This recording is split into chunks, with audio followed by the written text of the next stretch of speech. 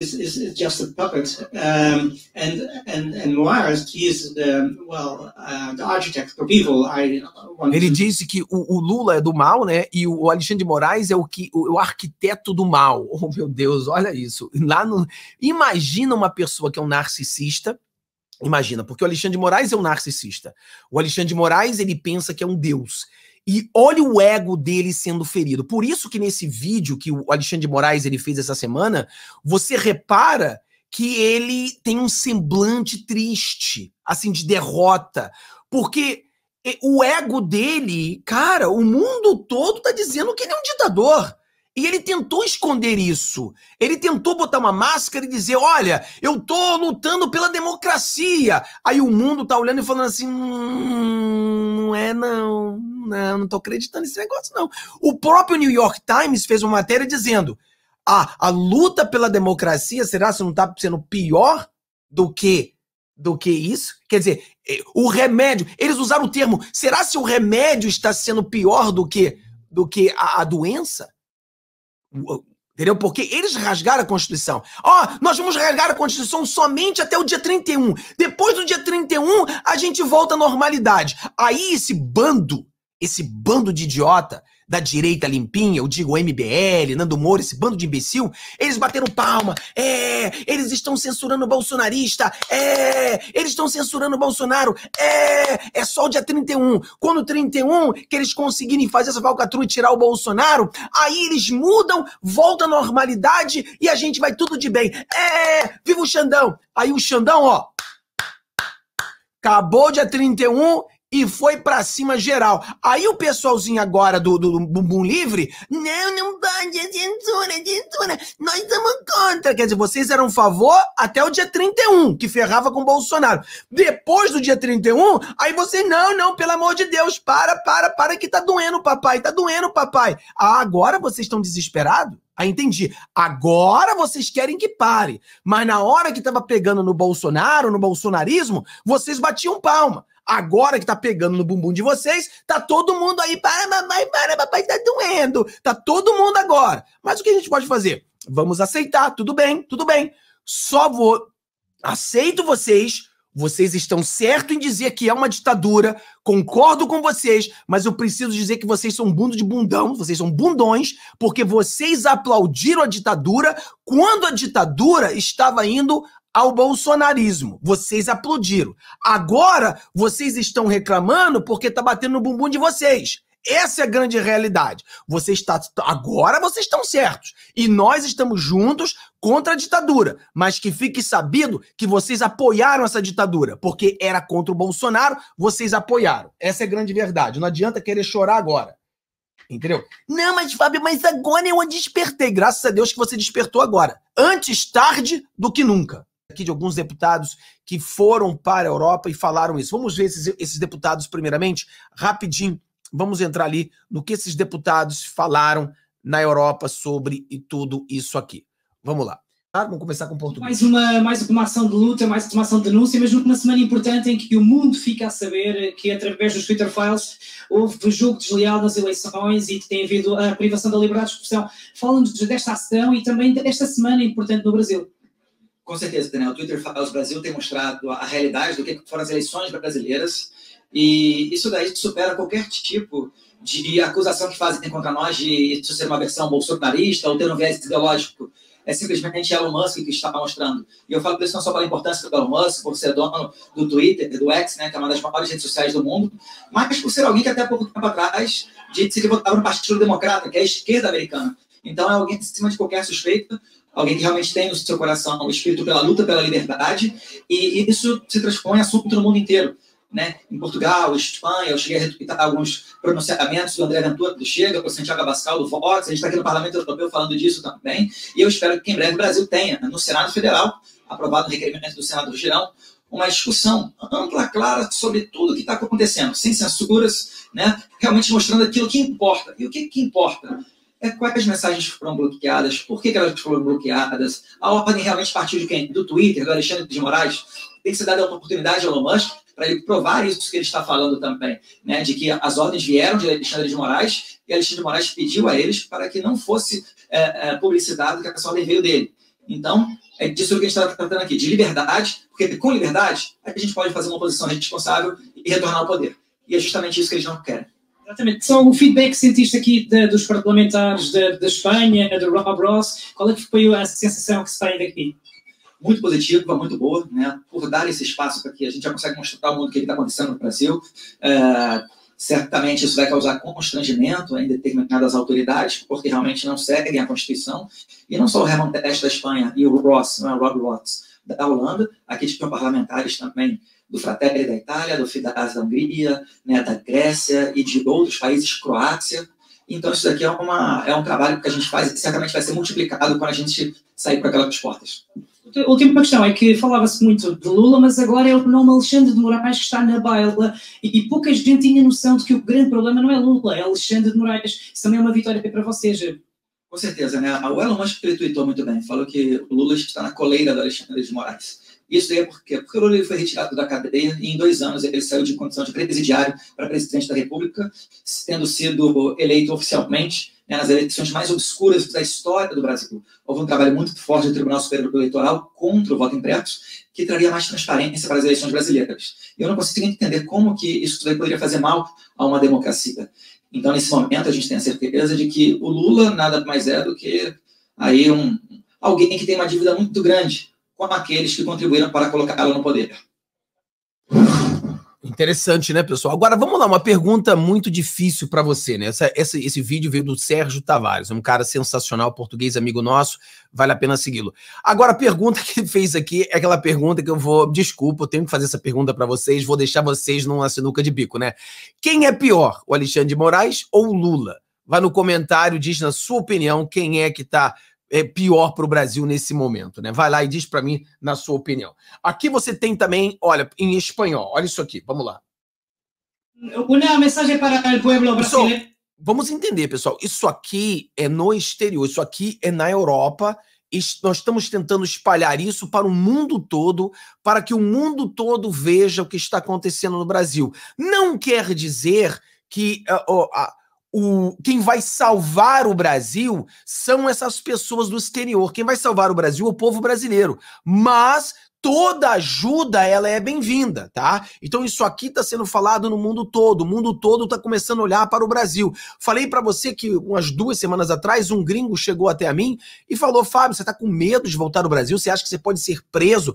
Cara, os gringos só conversavam sobre mulher e futebol. Ninguém falava sobre política brasileira. Hoje o Brasil está sendo visto como uma ditadura. Então temos que entender isso. Então, olha só o cara em espanhol. Não sei se vocês entendem em espanhol, mas o espanhol é parecido com o português. Eu acho que dá para a gente entender. Vamos lá. E como estás vendo toda a situação que se está a passar em Brasil? Al, al, pueblo brasileño lo que hay que decirles es que aquí en Bruselas hoy hemos tenido a sus buenos representantes, a los buenos diputados valientes que están asumiendo incluso un riesgo al venir aquí a Bruselas a denunciar la vulneración de derechos, el camino hacia esa tiranía, esa autocracia, esa dictadura de, de Lula. Eh, decirles que aquí también tienen muy buenos amigos. Los amigos de Vox vamos a estar siempre con el pueblo brasileño en favor de la democracia, de la soberanía del pueblo de Brasil y sobre todo de la verdad, que es lo que yo he querido hoy expresar. El derecho a la verdad y no dejarse llevar por las manipulaciones de los periodistas de izquierdas, del mainstream, de los políticos de izquierdas y de los engaños. Que aquí en Vox, con Germán Terch a la cabeza, el grupo de conservadores y reformistas, pero también ha habido muchos diputados de otras delegaciones que no son de nuestro grupo, húngaros, eh, eh, eh, franceses, que, que les vamos a apoyar, que vamos a llevar sus inquietudes, sus necesidades, sus intereses. Basta ya de que la izquierda domine el lenguaje, domine el discurso político ni en Brasil, ni en ningún lugar de América, ni por supuesto en, Europa. Estamos unidos a vosotros, rezamos también por vosotros, por vuestra libertad y por la vida que está también en riesgo para muchos de esos presos eh, políticos. Então você vê, né? Você vê em espanhol, você viu em inglês, você viu aqui nos Estados Unidos, você viu é, na Europa, quer dizer, todo mundo falando sobre o Brasil. Tem mais um vídeo aqui, também parece um espanhol, também falando sobre o nosso Brasil. Não vou botar o vídeo todo dele, porque ele é espanhol, a gente já usou um, mas eu quero que você, isso aqui, pessoal, o mundo todo pode ver e lutar pelo nosso Brasil, né? Olha só esse aqui também.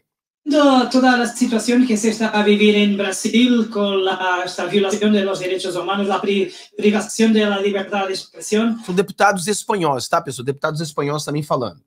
como europeo, ¿cómo ves la situación? Nosotros estamos alarmados, estamos alarmados por lo que está pasando en Brasil, por cómo Alarmados, se están recortando los derechos, cómo se ha recortado hasta no existir ya la libertad de expresión, cómo se persigue a la oposición, cómo se persigue a la prensa, cómo se persiguen las opiniones. ¿eh? Eso nos alarma mucho y vamos a hacer una iniciativa en el Parlamento Europeo para denunciarlo. Y vamos realmente a estar activos y este Parlamento va a tener mucha más fuerza después de las elecciones para realmente eh, ser activos en defensa de las libertades en Brasil y en todos los países que son Pessoal, muitas pessoas falam assim, mas Fábio, o problema do parlamento europeu ele é muito esquerdista. Sim, você está certo, o parlamento europeu é muito esquerdista.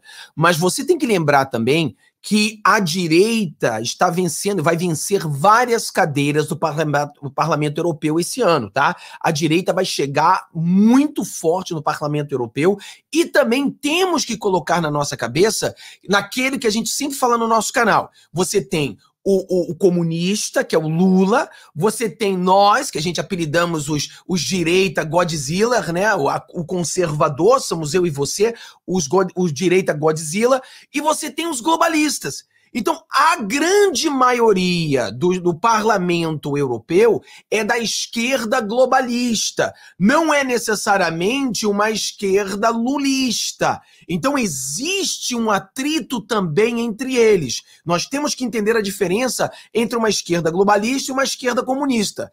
Você vê que os globalistas estão brigando com o Putin. Então, o Putin é aquela esquerda é, comunista, aquela esquerda é, pior de todas, né? A gente, toda a esquerda é ruim, mas você tem a esquerda pior de todas, que é a esquerda comunista, que é o nível mais alto do esquerdismo. Então você tem o Putin brigando com esses esquerdistas. Você pode ver, o Macron está em briga com o Putin. Putin é o aliado ao Lula. O Lula está querendo trazer o Putin para o Brasil, porque já, já trouxe né, o, o traficante de drogas, o Maduro, para o Brasil, então agora quer levar o Putin. Quer dizer, o Brasil virou a casa da zona. Quer dizer, só vem merda. Desculpa o paladar, mas a gente tem que falar a verdade. O Lula só convida bossa para ir pro Brasil. Só tem bossa. Aí, o Lula e esses esquerdistas amebas vêm conversar com a gente de que, oh meu Deus, o Elon Musk, ele é uma afronta à nossa soberania. Ué, e o, e o, e o, e o Macron? E o Macron? E o, e o, o Maduro? E o Putin? Não são? Não. Só é afronta à soberania se um, um empresário que faz dinheiro no Brasil e paga impostos no Brasil, ele não pode falar do Brasil? Ele não pode, porque é um assalto à soberania. Ah, pelo amor de Deus. Então nós temos que entender isso aqui. Estou aqui, estão falando para o povo em espanhol agora. Vamos lá. Continuar para você ver aí.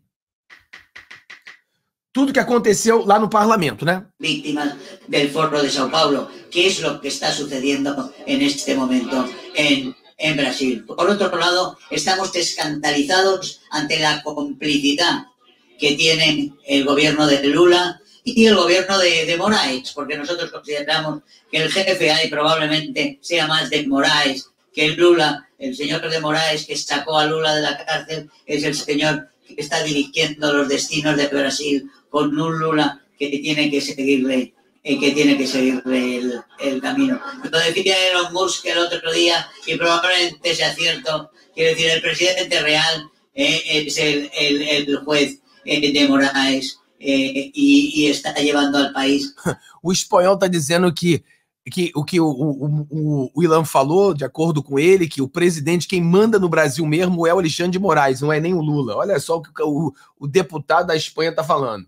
De lo que es una tiranía. Y eso no podemos aceptarlo. Hemos, hemos vemos la complicidad que ha habido con Cuba, 65 años de monstruoso régimen que ha llevado a un país rico a la miseria, a los niveles de Haití. Hemos visto a Venezuela, uno de los países más ricos del mundo, hundirse, hundirse en la catástrofe de la miseria, del dolor, del crimen y de la tortura, eh, y llegar a niveles de Haití. Y ahora tenemos que a Brasil ahí que es un país que es una potencia y que se nos quieren, nos quieren convertir también en un país de miseria, de esclavos, de gente dependiente y sobre todo gente con miedo. Estamos viendo el miedo en Brasil. y eso no podemos tolerarlo, porque si hay miedo, no hay Pessoal, não sei se todos vocês entendem espanhol, mas é importantíssimo que a gente faça vídeos em espanhol, tá? Entenda a importância de vídeos espanhóis conseguirem alcançar todo mundo que fala em espanhol. Mas ele está dizendo aqui uma comparação que o Brasil, não podemos deixar com que o Brasil vire Cuba, não podemos deixar que o Brasil vire um Haiti, não podemos deixar com que a esquerda venha destruir o nosso Brasil. É isso que ele está falando. Só que ele consegue chegar a muito mais pessoas. Por isso precisamos do inglês, precisamos do espanhol, precisamos do francês, precisamos dos idiomas. Quanto mais idioma, melhor. A gente vai mostrando para o mundo o que o Lula está fazendo com o Brasil. Então é importante. Ainda que você não entenda, dá para entender algumas coisas e dá para ler ali o, o que ele está dizendo, né? Eh, finalizando, levas un regalo de Brasil, puedes mostrarlo. Muy orgulloso y muy contento con el regalo que estos valientes, estos valientes, estos valientes parlamentarios que han venido a Europa a defender la libertad de sus compatriotas, a defender la libertad de su nación, de Brasil, y que están arriesgando represalias. Y cuando hay represalias para unos parlamentarios por decir su opinión, cuando hay represalias es que ese país ya está en una dictadura.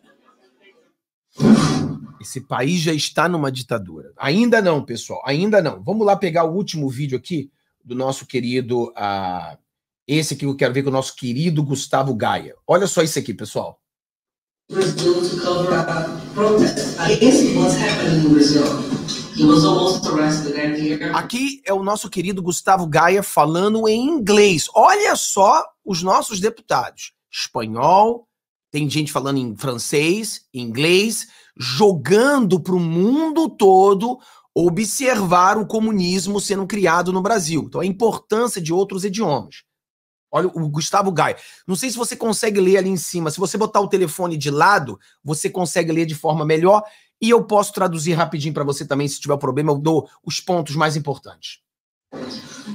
The questions that the federal police asked him was, what do you think coalition was? Do you like the Supreme Court? Who did you vote for?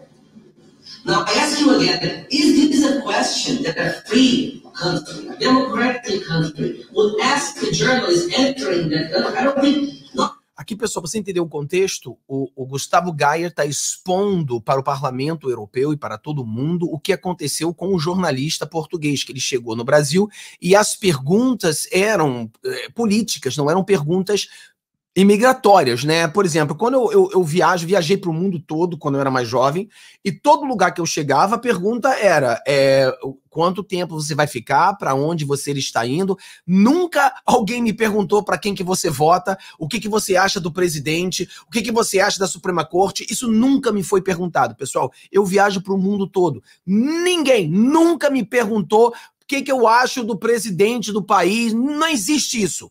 As perguntas sempre são as mesmas. O que você está fazendo aqui? É para negócio ou é, é férias? Você vai ficar aonde? Você vai ficar quanto tempo? São perguntas que são totalmente relevantes à questão da visita. No caso do, do, do português, foi totalmente politizada, totalmente comprovou a perseguição política que há hoje no Brasil. Né? Even Venezuela, he would be detained at the airport and asked such idiotic questions. But that happened to him. And he will go back to Brazil soon to talk about that. Hopefully, he won't be arrested at the airport.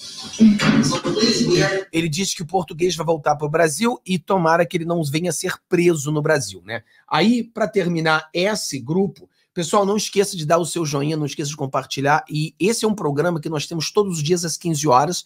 O nome do programa é Aconteceu Agora. A gente tenta trazer a você tudo o que aconteceu hoje nos Estados Unidos, na Europa e no nosso querido Brasil. Então, se você quiser ficar por dentro de tudo que está acontecendo, o nosso programa é todos os dias às 15 horas nesse canal. Aconteceu agora, tá bom? Tudo que está acontecendo agora. Agora, olha só em inglês. Vou botar só um pedacinho do inglês. Vamos lá, inglês.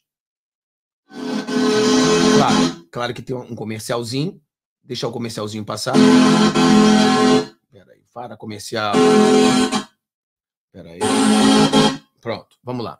Uh, Rob, um, are Europe uh, aware of the situation of Brazil, the dramatic situation of Brazil? Uh, Então a the- pergunta é: você está sabendo do que está acontecendo no Brasil? A pergunta foi feita para ele. are are not aware. So it's very important that we uh, expose this, that we are telling what's going on right now with uh, Eu estou sabendo o que está acontecendo no Brasil. É muito importante que a gente venha expor cada vez mais o que acontece no Brasil. The, the well the suppression and the, the, freedom of speech that's Quer dizer, a supressão da liberdade e estão querendo tirar né, a sua liberdade de expressão, que hoje no Brasil não existe mais liberdade de expressão. Né? Você pode falar algumas coisas, mas você não pode falar tudo. Existem coisas que você não pode falar hoje no Brasil. O Nicolas Ferreira está sendo processado e o juiz da Suprema Corte aceitou a, a queixa porque o Nicolas Ferreira chamou o Lula de ladrão. Pessoal, isso aqui não é piada, não é pegadinha, é uma verdade. O Nicolas Ferreira, como um parlamentar, ele na ONU, na, naquela parte dos jovens da ONU, ele disse que o Lula é ladrão e agora ele está sendo investigado por isso. Na, na Constituição brasileira, ela diz amplamente que um parlamentar, um político, um deputado, um senador, ele tem todo o direito de falar. E ele é protegido pela Constituição, por quaisquer fala.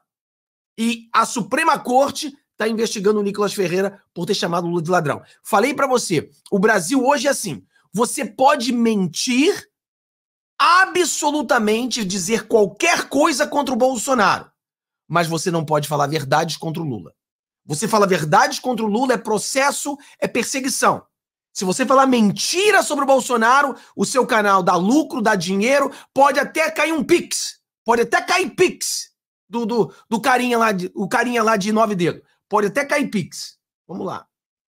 and it's very important that people understand that um, that it, the, the Brazil is not really a democracy anymore.